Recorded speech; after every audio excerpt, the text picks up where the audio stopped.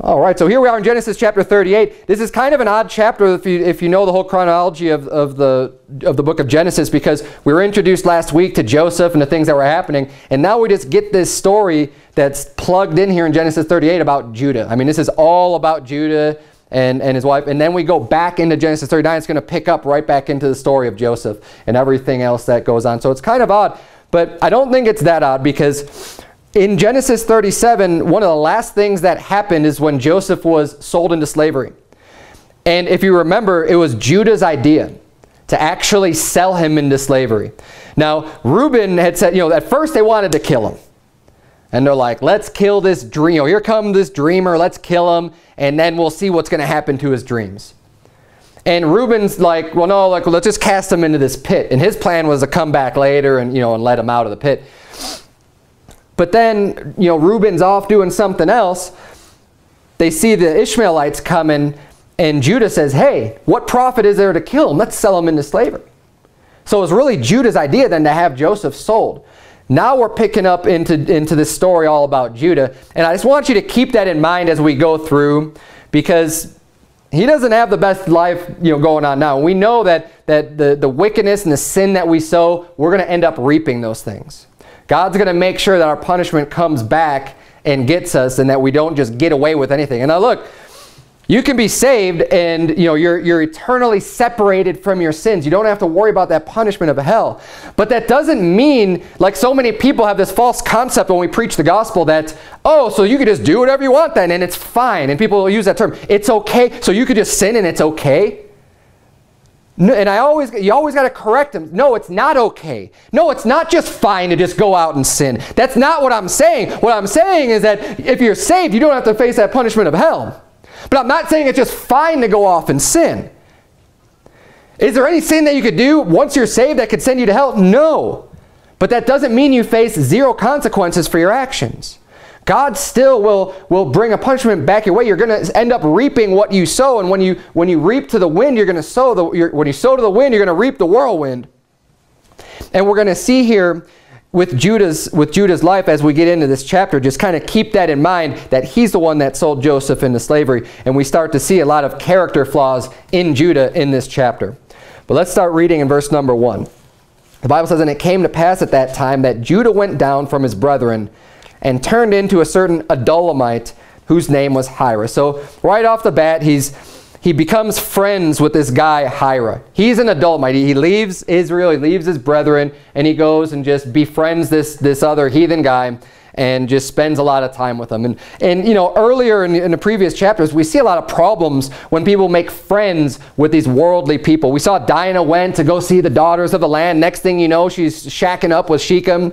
And the, the bad influences that, that the wrong friends can have in your life. Now we see here Judah. He's hanging out with this guy Hira. And let's see what happens in verse 2. The Bible reads, And Judah saw there a daughter of a certain Canaanite, whose name was Shua. And he took her and went in under. So now he takes this, this Canaanite woman to be his wife.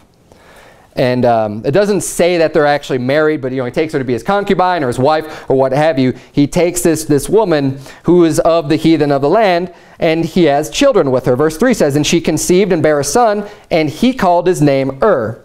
And she conceived again and bare a son, and she called his name Onan. Now, I don't know exactly what the significance of this, but I caught this when I was studying, and I thought it was kind of interesting that, that he names the firstborn child, but then she named the secondborn child. And it just says, because he called his name Ur, and then she called their secondborn Onan.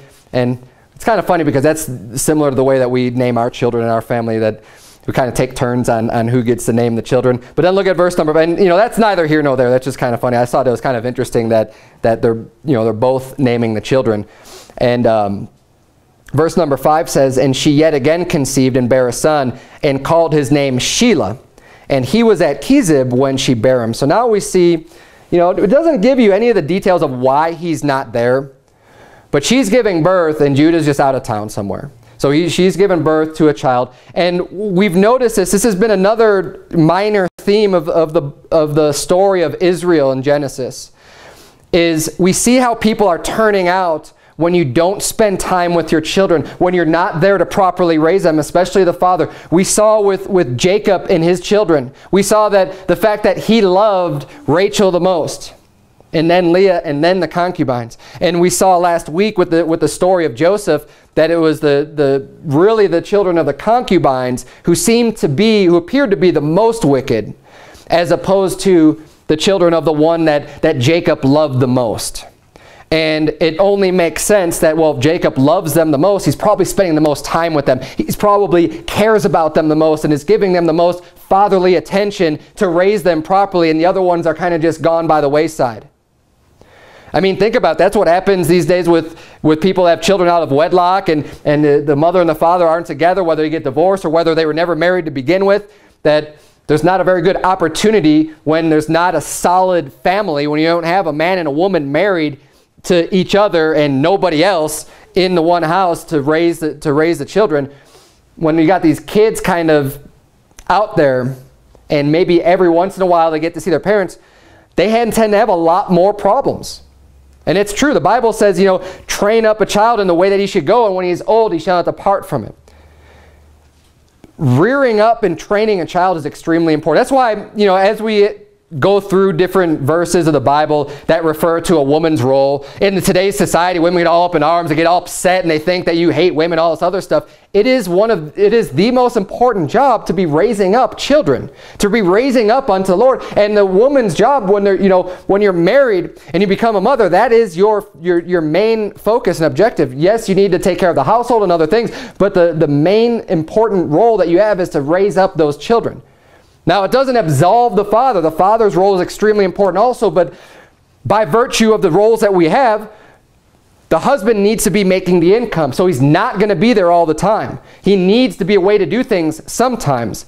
But when, you're, when he is around, he also needs to be investing a lot of time with that child. And we see the, the fruits of that when the, when the father's not around. And we see here, we don't know, again, we don't know how much you know, I don't, I don't want to read too much into this story that's not there in Scripture, but we do see that the Bible does make mention that, hey, he wasn't even there when his, when his son was born. He was gone in Chezib. For what reason or another, I don't know. But um, he wasn't even there. And then we see, look at verse number um, 6. It says, And Judah took a wife for Ur, his firstborn, whose name was Tamar. Verse 7, And Ur, Judah's firstborn, was wicked in the sight of the Lord, and the Lord slew him. So we see here his firstborn son, Ur, is so wicked that God himself actually just decides to have him killed. God kills Ur, his firstborn. Now, I can't even imagine how bad someone must be, how wicked a person must be just for God to decide, yeah, I'm just going to kill him now. We know the long suffering and the mercies that God has. You read the book of Psalms and you read all about it the extreme mercy and forgiveness that God has towards everybody in general. To see that one person then is just, he's just wicked. God just says, you know what? I'm done. I've had it. And he, and he takes his life. Now, was Ur saved? I don't know. But um, he was bad enough for God to kill him. And what that tells me is that Judah wasn't doing his job. I don't think that Judah raised his son right to be that wicked and to be so wicked that God himself is just saying, I'm just going to kill him. I'm just going to take his life. And it wasn't just uh, Ur. We see here, look at verse number 8. The Bible says, And Judah said unto Onan, Go in unto thy brother's wife and marry her, and raise up seed to thy brother. Now, this is the first time we come across this concept of raising up seed unto someone else's brother. This is before, this is prior to Moses. This is prior to the Mosaic law. But we find elements of the Mosaic law in Genesis and in, you know, in these earlier times before the law is introduced. And I believe that there are some things that they knew that were like commandments of God in the Old Testament before Moses actually wrote down the books and, and the law was given in that sense. I believe that there are things that they knew that they were supposed to be taken care of and they were supposed to be following that God had, had revealed unto them. They just weren't written down as part of the law. And I think that this is one of those things. But if you turn to Deuteronomy 25, we'll see where this is part of the law about raising up seed unto your brother. Because what, what happens here is that you got to understand the structure of the family and everything, especially in, in these days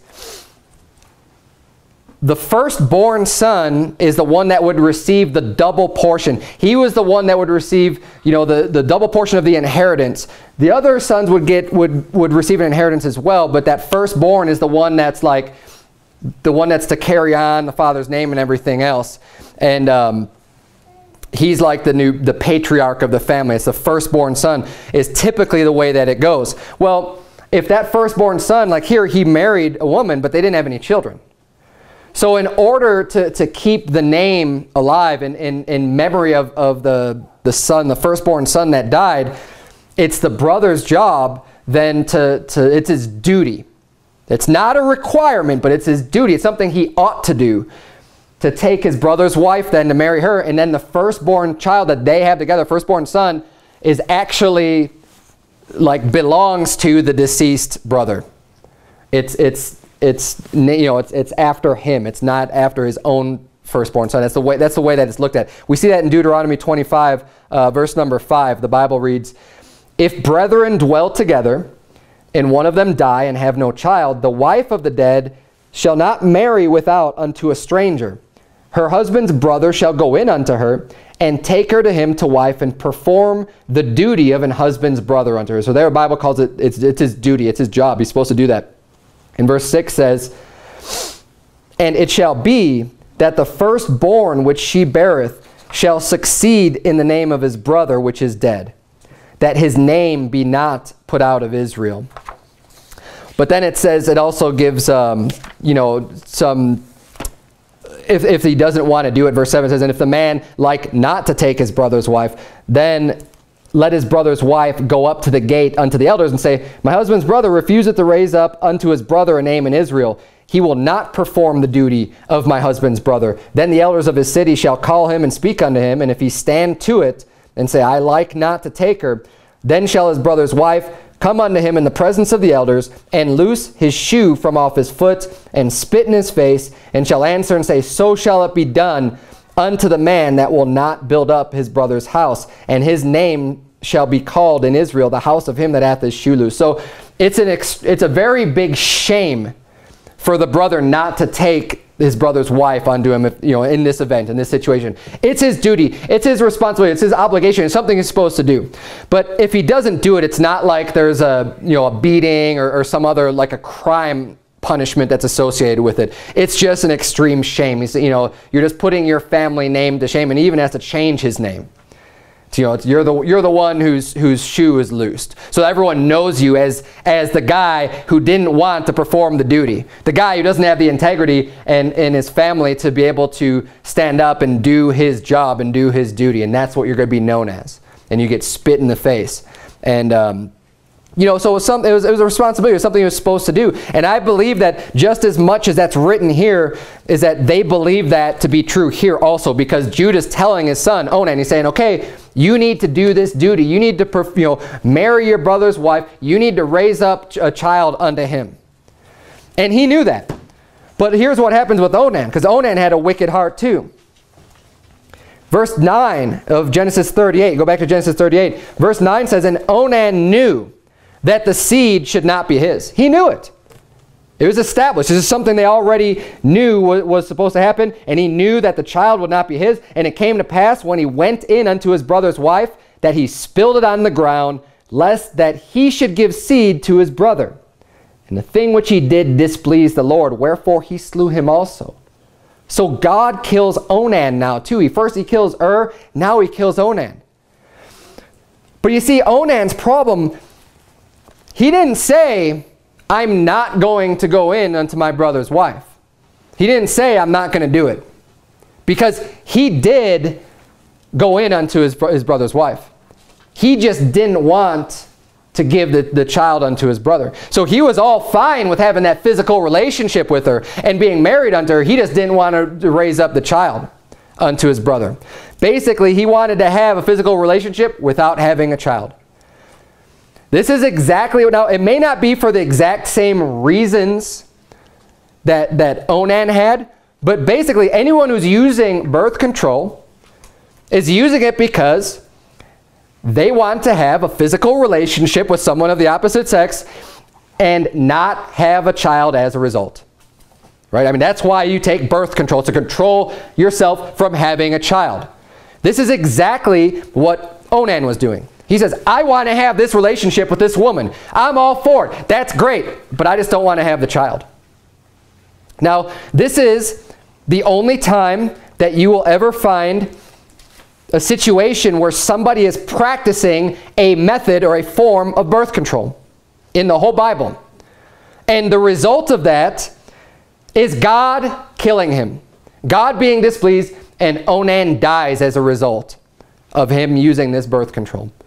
Now, I've heard people say, well, no, no, God just killed him because he didn't want to raise up the child unto his brother. I don't think that that reason matters as much. Now, that is part of it, of course, but I don't think that that matters as much as he should have just not taken her to wife at all then if he wasn't going to do it. The fact that he wanted to do this act and then not follow through with the whole thing and committed this sin, God killed him for it. Take that to heart when you decide whether you're married or not, if you're going to start using birth control. Now look, if you're not married, you ought not to be engaging in the act at all because that's a, that's, that's a whole nother thing called fornication. And God is not, and if you're saved, you ought to be deathly afraid. You ought to have a fear of God that says, I am not going to even step close to, to fornication. You ought to have the fear of God instilled in you so deep because God has been known to, to, to take people's lives, even that they're saved, to take them home early because they're just not doing what he's telling them to do and, and they're just deliberately disobeying God. They're completely disobeying him. And fornication is a very serious sin. Very serious sin. It's not something to be taken lightly. But I'm not going to I'm not to spend a lot of time preaching on fornication today. I want to get this point rammed home for if you are married and you do have this, this relationship that you ought not be using birth control.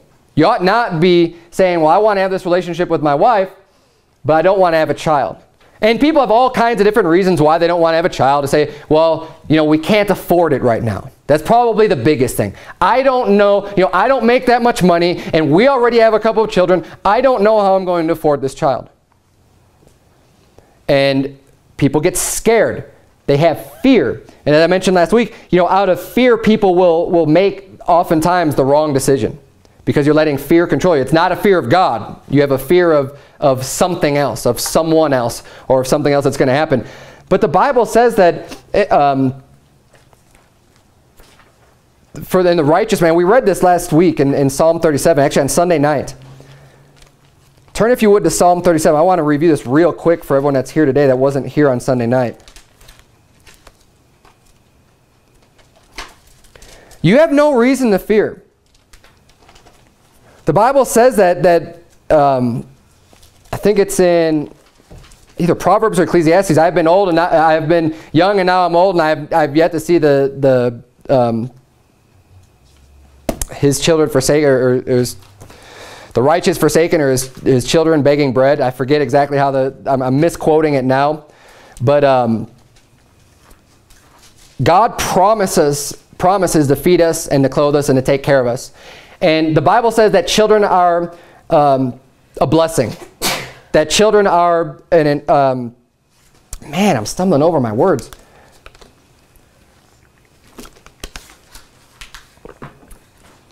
Look if you would at Psalm 37 where, where I had you turn. It says in verse 23, The steps of a good man are ordered by the Lord, and he delighteth in his way. Though he fall, he shall not be utterly cast down, for the Lord upholdeth him with his hand. This is a verse that you can take a lot of confidence in, a lot of, a lot of joy in, and a lot of comfort in. The fact that, hey, if you're doing what's right according to the Bible, God will lift you up. God will hold you there. Even if you fall down, God will help you up. And if you're doing what's right, and if you see that this story in Genesis says, hey, you know, Onan was practicing birth control and he ended up dying, Obviously, God doesn't seem to look too well on that. I'm going to just let things happen. I'm going to let God open and close the womb as he's done all throughout the Bible. When people can't have children, they pray unto God, God opens up their womb. Something else happens, and God decides to close the womb. God has control over whether or not a person has children or not. You don't need to worry about whether or not you're capable of supporting the children.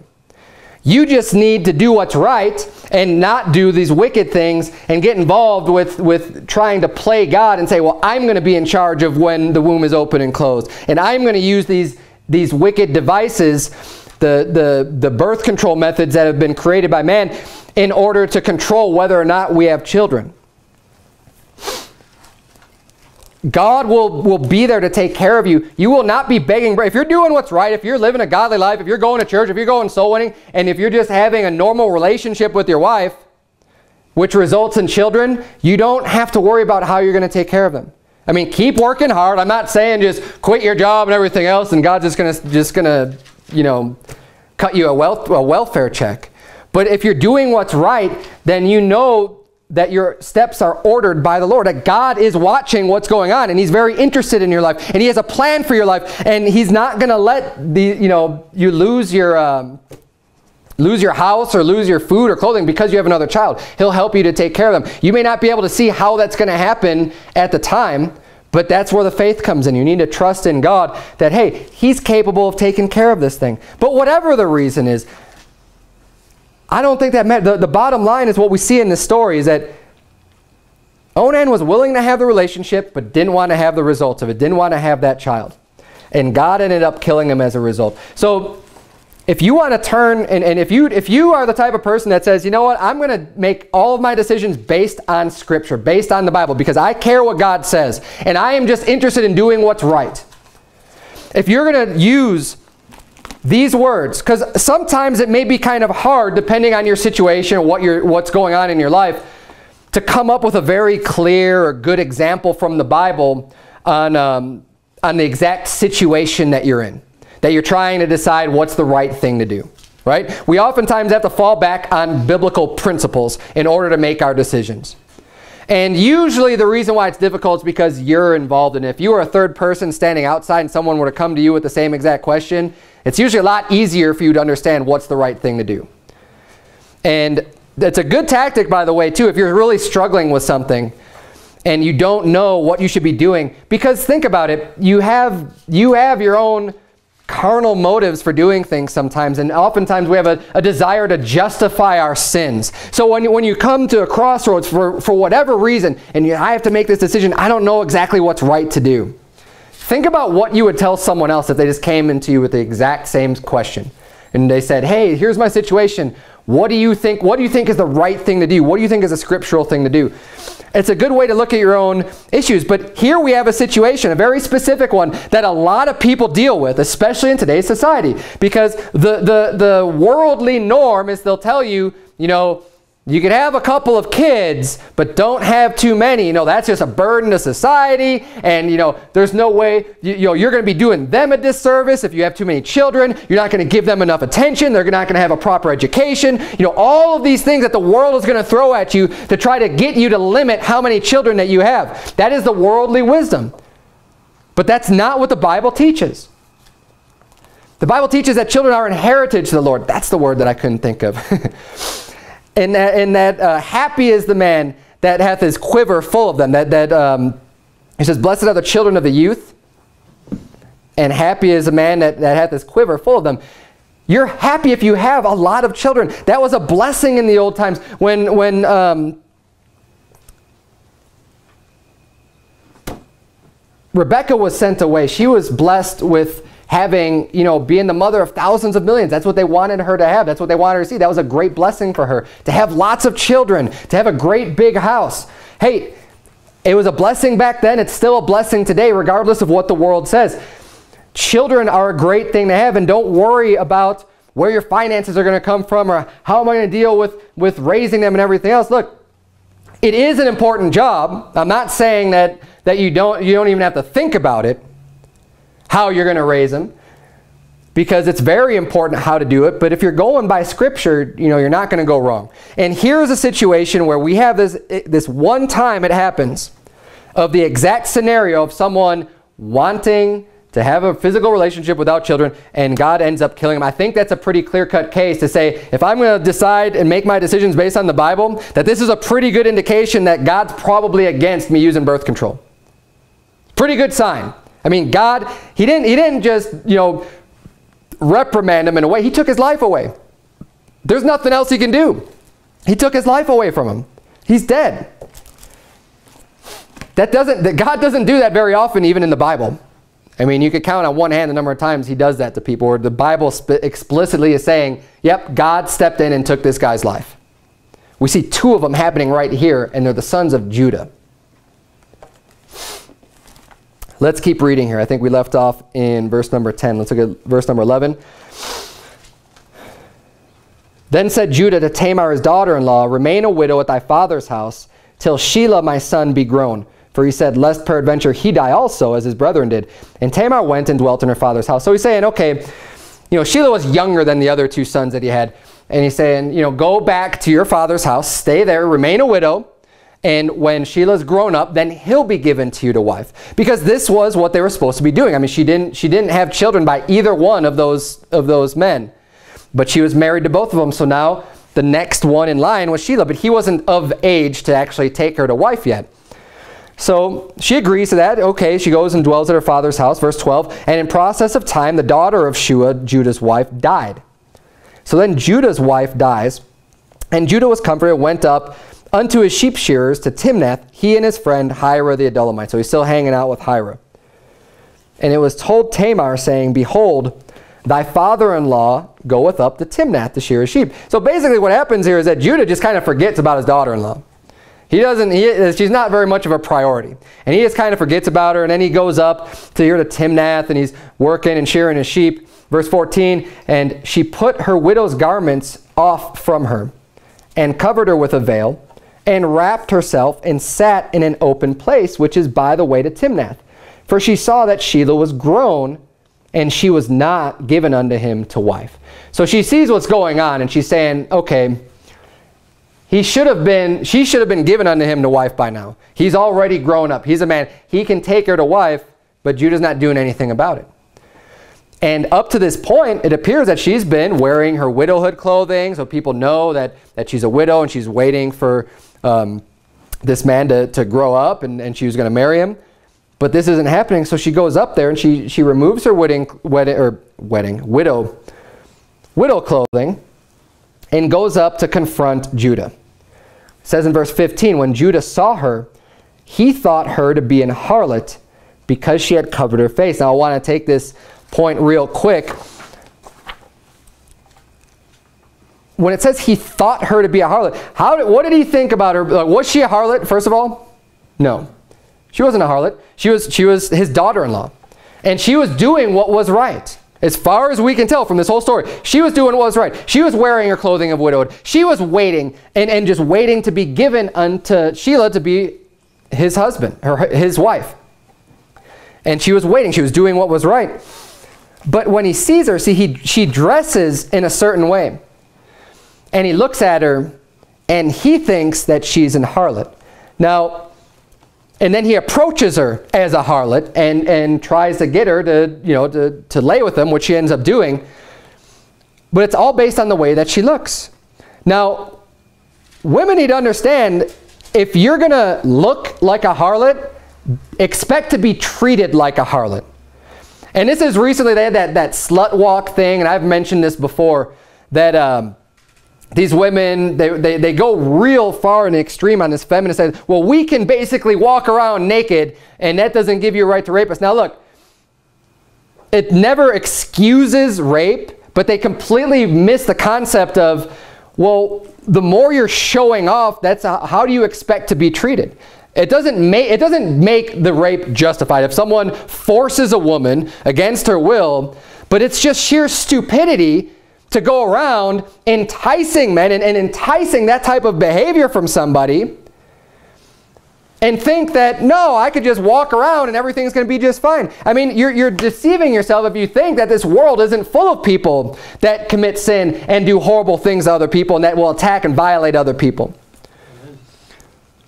But besides that, I mean, it's just, I mean, obviously it's just wrong. I mean, those people, they don't believe the Bible at all. They don't believe in that the Bible, what the Bible even talks about when it refers to nakedness and, um, and being ashamed and everything else. But there's a certain way that you can dress. that people are going to think that you're a harlot. Proverbs 7 refers to, to a similar thing. You turn to Proverbs 7 real quick. We're going to see here um, the Bible talks about a real harlot. In Proverbs 7, verse number 10, the Bible reads, And behold, there met him a woman with the attire of an harlot. So there, very clearly we see that there is a way that you can dress that looks like a harlot. And subtle of heart. She is loud and stubborn. Her feet abide not in her house.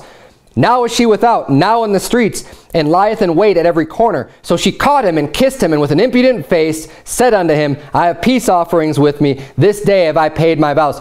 This is a type of woman who is an adulteress, who is a harlot, a whore, a whore, uh, you know, um, a slut, hooker.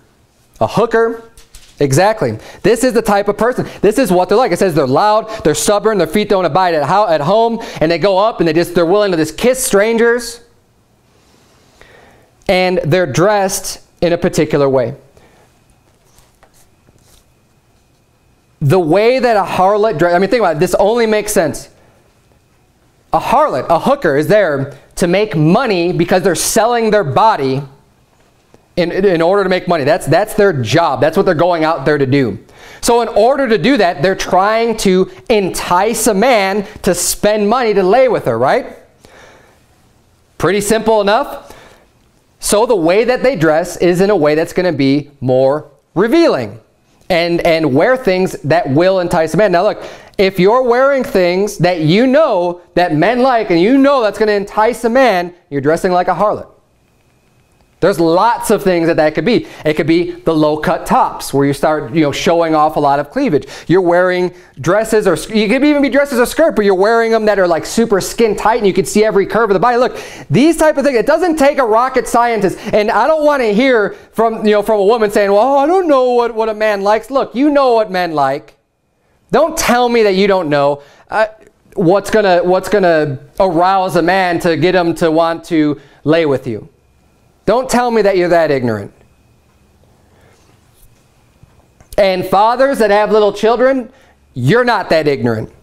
Don't let them walk around. And I don't care, like even my little girls, you're never going to see them dressed walking around in an entire Harley Davidson. Yeah, but no one's going to be looking at them yet. No one but the sickos and weirdos. But I'm going to teach them from a young age not to be putting off a show and wearing things that they ought not to be wearing, whether or not they even understand it whether they understand the, the, the, point or not. You see, these days you see these young girls, seven, eight, nine they walk around like little hookers. And they don't even realize, it's real sad because they don't get it. They don't know, but they see their icons, their idols, these pop stars that are wearing almost nothing and they want to emulate them because they look up to them, because they think they're so cool and they want to wear the same things and they want to go out and be, and be all popular. The parents need to say no. You don't, you don't put up a for sale sign if it's not for sale. And women need to take this to heart and, and, and really analyze themselves. Analyze your own clothing and say, is what I'm wearing going to just entice a man and make him think that something I have is available to, to anybody for the right price?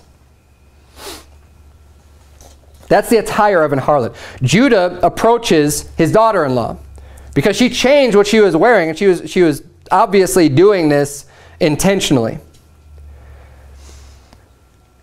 Because she wasn't given unto his son in order to, to have children. I mean, she obviously really wanted to have children. She was trying to do the right thing and he wasn't doing it. Now, I'm not condoning what she did either and this method that she's doing to do this, but it's what she did. And she knew how to entice a man. She knew how to look like a harlot.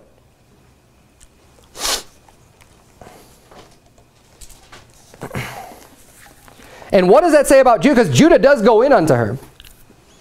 And what, what more does that say about Judah's character? He goes in unto a harlot. I mean, we see clearly he wasn't raising his children very well, but now his wife dead, so oh, ah, well, I'm going to go. I'm going to go in on this harlot.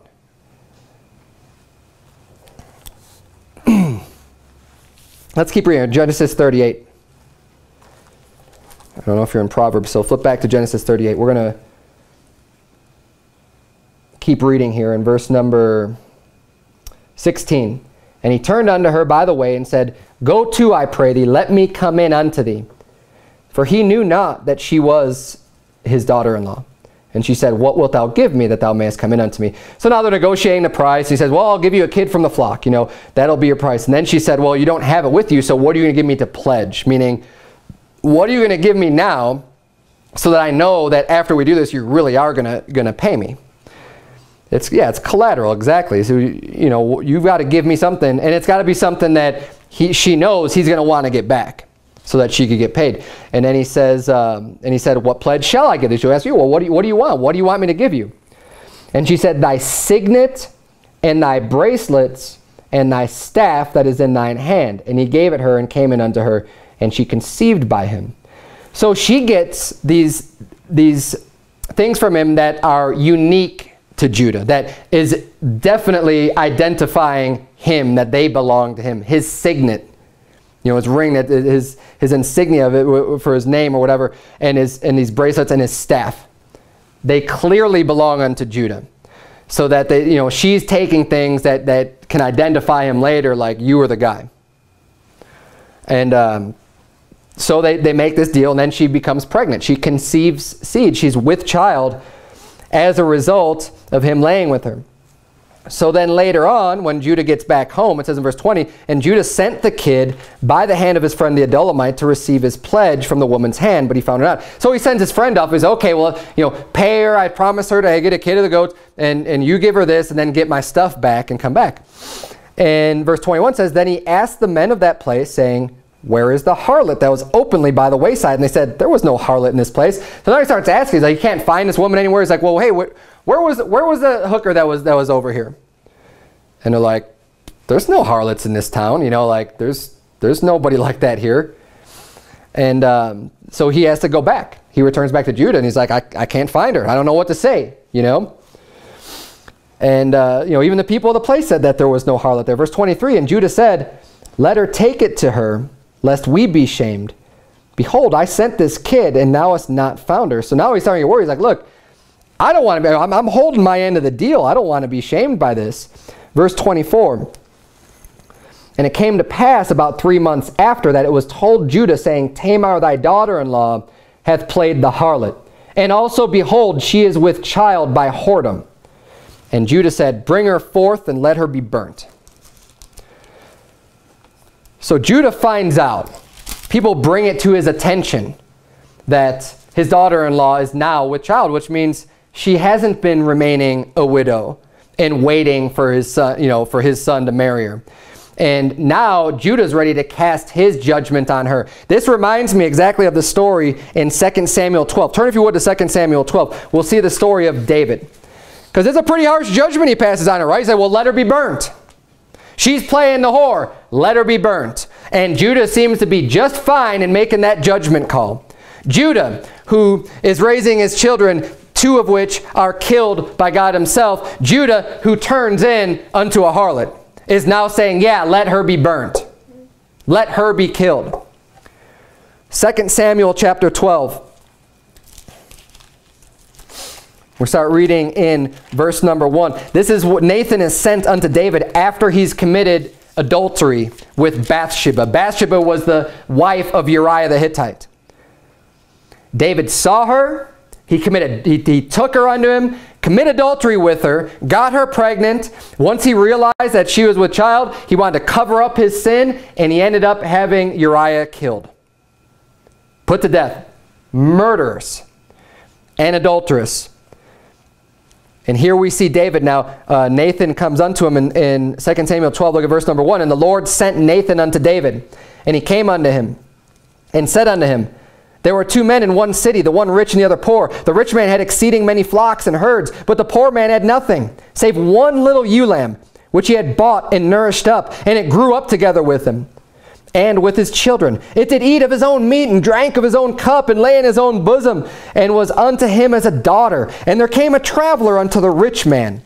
And he spared to take of his own flock and of his own herd, to dress it for the wayfaring man that was come unto him, but took the poor man's lamb and dressed it for the man that was come to him. And David's anger was greatly kindled against the man, and he said to Nathan, As the Lord liveth, the man that hath done this thing shall surely die, and he shall restore the lamb fourfold, because he did this thing, and because he had no pity. So we see David has no problem judging in another man's matters, right? He gets angry. He hears about this story.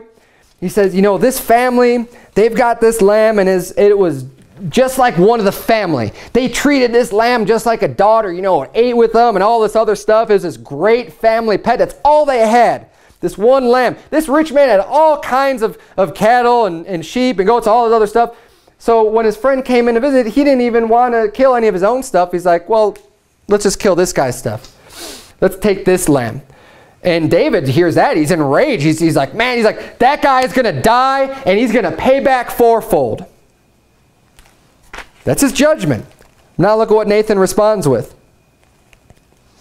Verse 7, And Nathan said to David, Thou art the man.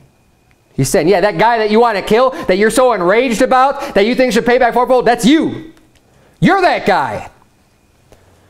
Thus saith the Lord God of Israel, I anointed thee king over Israel, and I delivered thee out of the hand of Saul, and I gave thee thy master's house and thy master's wives unto thy bosom, and gave thee the house of Israel and of Judah. And if that had been too little, I would moreover have given unto thee such and such things. Wherefore hast thou despised the commandment of the Lord to do evil in his sight?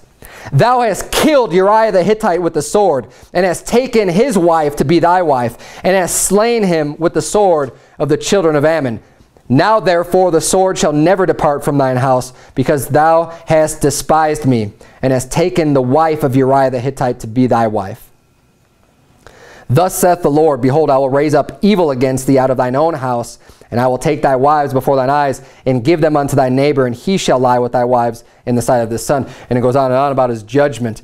And then David responds in verse 13, And David said unto Nathan, I have sinned against the Lord. And Nathan said unto David, The Lord also hath put away thy sin. Thou shalt not die. But then he ends up killing the, the son that's as a result. And this story reminds me so much of what we just read here in Genesis um, 38 with Judah. Because it's real easy for him to judge somebody else. But he doesn't judge himself at all, which is exactly what David was doing here. He had plenty of, of reasons to judge someone else in, in, in his matters. And the Bible says, you know, that if we would judge ourselves, we should not be judged. turn, if you would, to Matthew 7. It's the last place we'll turn. We're going to close out um, Genesis 38.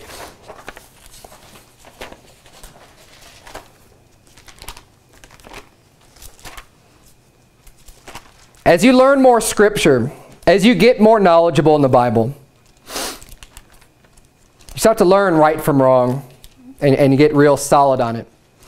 And even as you start to get some sins out of your life, it can be easy to become extremely judgmental. And part of it comes from a haughty attitude. Now, I know that the Bible says that we are to judge righteous judgment, and I don't, you know, we're going to read Matthew chapter 7. People rip this out of context, and they say you're never supposed to judge and things like that. That's not me. But on the flip side, as much as, because this, that really bothers me when people are like, oh, judge not, judge not, all this other stuff, and they, you know, they don't know the whole passage and, and what the context is, what it's even talking about, about not being a hypocrite when you judge. But don't take it to the other extreme to where you're just ready to judge everything and just and just think that you can just be in judgment on absolutely everything and that you can do no wrong. We need to be careful with how we judge. It doesn't mean we can never judge. Just be careful with it. Let's, let's read Matthew 7, verse number 1. The Bible reads, Judge not that ye be not judged. So in order for you not to be judged, you're saying, okay, well, just don't, you know, don't judge, and then you won't be judged if you're not judging other people. He says, For with what judgment ye judge, ye shall be judged. Whatever standard you're holding other people to, hey, that's a standard that's going to be used against you. David, who's holding this standard against a man who kills a lamb, when you killed this woman's husband? You killed a man? He just killed a lamb. You killed this husband. You took the one thing that was precious unto him. You're the king. You can have whatever you want. You took this guy, this poor guy's wife. And you're going to cast judgment on this guy that killed a lamb? That's how the story goes. And we see the same thing with Judah. Judah's going to cast judgment on his daughter-in-law when he's the one that went in unto her? He's the one laying with a whore? Let's keep reading here. It says, For with what judgment you, you meet, or with what measure you meet, it shall be measured to you again. Verse 3, And why beholdest thou the mote that is in thy brother's eye, but considerest not the beam that is in thine own eye? Or how wilt thou say to thy brother, Let me pull out the mote out of thine eye, and behold, a beam is in thine own eye. Thou hypocrite, first cast out the beam out of thine own eye, and then shalt thou see clearly to cast out the mote out of thy brother's eye. You need to read all those verses in context. You can't just read judge not. You can't just read the first two words of verse 1. Obviously, the Bible's teaching us that when you do judge things, don't be a hypocrite. If you're going to judge something else, you better dead make sure that you are not guilty of the same thing or worse when you're judging someone else.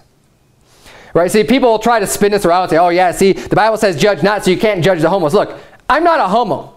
I've never been a homo. I can judge the homos. I'm not, I'm not, I don't have this beam in my eye of like, like I'm a sodomite and and I'm, I'm just, you know, because that's what I always say, well, you're just closet sodomite. Like, get out of here. That's, a, that's what they like to say to everyone because they have, they have nothing else to say. They have no argument against, so, well, you just must be one too.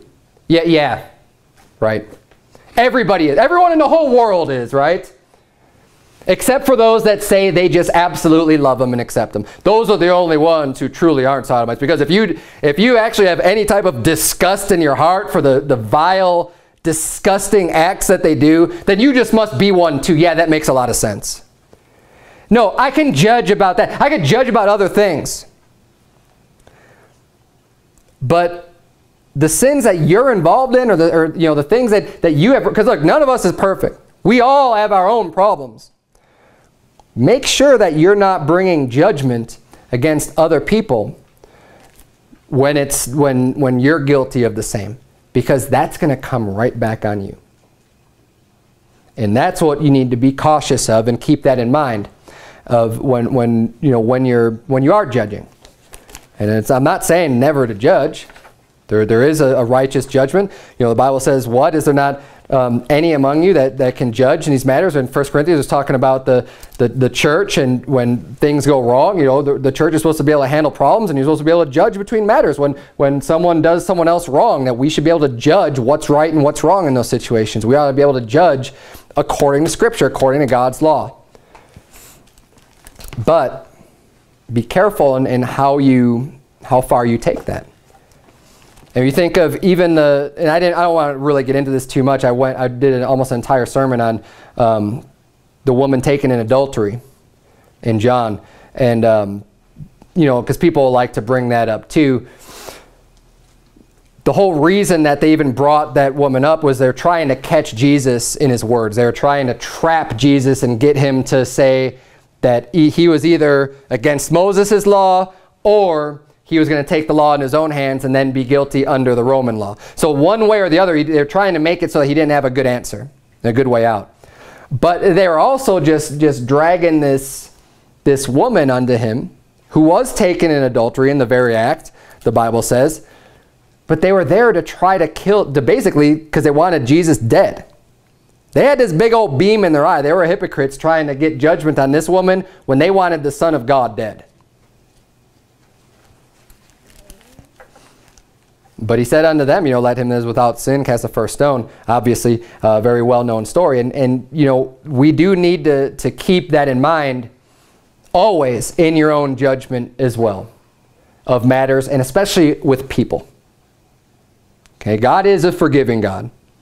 And I know that I have been forgiven of a tremendous amount of things and of some very wicked things and very bad things.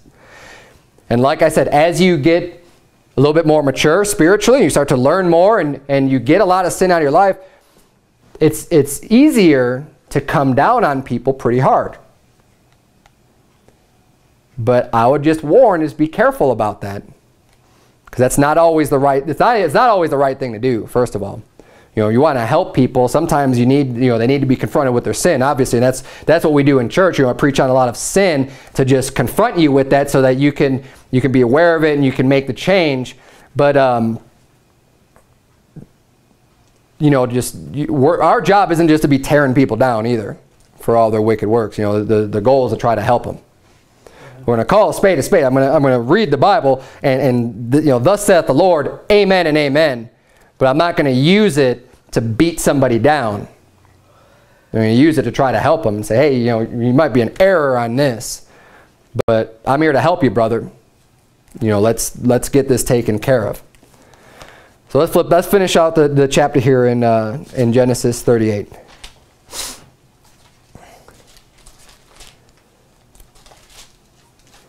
So Judah's saying, let her be burnt. Let's just kill her light her on fire, because that's what she deserves. Verse 25, when she was brought forth, she sent to her father-in-law, saying, By the man whose these are, am I with child? She's saying, okay, you want to kill me? Well, I'll let, I'll let this speak for itself. Whoever, whoever owns this, that's the father of the child. She said, Discern, I pray thee, whose are these? The signet and bracelets and staff, and Judah acknowledged them and said, She hath been more righteous than I, because that I gave her not to Shelah my son. And he knew her again no more. He realized what he did, obviously, that, that it wasn't right for him not to give her to his son. But then because, because of this whole thing, it kind of she's polluted. She is essentially, in a way, is like kind of become his wife in that event. Now, I, I, don't believe that just when you when you lay with someone, they're automatically a wife. There's people that believe that. I don't hold to that at all. Um, that's why there's a sin called fornication. If you were married, it wouldn't be fornication. But um, she's been she's been polluted though, and that was a, that's a sin. You know, lying with your daughter-in-law is, is is a big sin. The Bible says you know not to do that. Um, you know, to discover your son's nakedness by lying with, with your daughter-in-law. But because of all of that, and be, I mean, he already did it, but basically now he's got to take care of his children and her as if she was his wife because, because of this whole event, but he never, he never lays with her again. So, um, uh, it's, uh, and that's why he knew her no again no more. Verse 27, and it came to pass in the time of her travail that behold, twins were in her womb. And it came to pass when she travailed that the one put out his hand and the midwife took and bound upon his hand a scarlet thread, saying, This came out first. And it came to pass as he drew back his hand that, behold, his brother came out. And she said, How hast thou broken forth? This breach be upon thee. Therefore his name was called Pharez. And afterward came out his brother that had the scarlet thread upon his hand, and his name was called Zerah. Now, I'm just going to take the last few minutes of this sermon for this, because this is a really cool story, I think, with the, with the twins being born, how the one baby is able to stick its hand out, and they, since they knew it was twins, they're saying they're, they're trying to mark and identify the firstborn, right? Because twins are going to look they're going to look exactly the same. So when they come out, you're going to be like, well, which one was born first? I don't know, but it's important to know who the firstborn is, as I was mentioning earlier. So the one baby sticks out its hand, they're like, ah, this is the firstborn. They tie a thread around it real quick. But then somehow the other twin was able to, to maneuver its way. And if you know anything just about biology or anatomy of, of a woman, like to, for the other baby to be like in that, you know, to kind of switch places at birth kind of an amazing thing anyways for him to, to come out first. And they were kind of surprised at that. So that uh, is, is named after like, well, how did you how did you come through first? You know, the other one was there. And then um, Zerah is born. And the only point I want to make with this is that, you know, we see in the Bible midwives delivering children and no cause to, you know, have this medical emergency and go to the hospital and everything. This is a natural, normal thing that God has designed. God has designed women to bear children. And he designed them to give birth. It's a natural thing. There's nothing wrong with it. There's nothing, you're not sick. You don't need to go to the doctor because you have this illness that he needs to fix you of. You have a baby. You have a child. And God designed the woman's body great in order to have those children and, and, and to be done in, in a normal and safe manner. Now, is there a time for a hospital or emergency? Yeah, you know, sometimes those things happen right? Just like there, we have accidents, just sometimes other things happen that are way out of the ordinary, that are not normal to happen. But God designed things pretty well. I mean, when God saw everything that he made, it was good. And when God to call something good, you better believe it was good. He's made our bodies incredibly. So to think that, you know, it, we've been kind of brain, the society's been brainwashed into thinking that you automatically need to go to this other institution where sick people go in order for you to have your baby. And you need to be put on this bed on your back and your legs up. This is the only way, this is the safest way, the only way you should be having your child.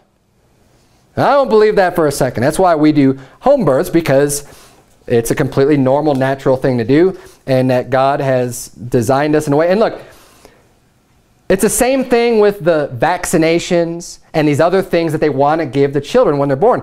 I don't believe for a second that God has was so inept, so inept that we need to have injections with needles of things shot into us as, a, as, a, as an infant, as a newborn baby, because if we don't, we'll just die.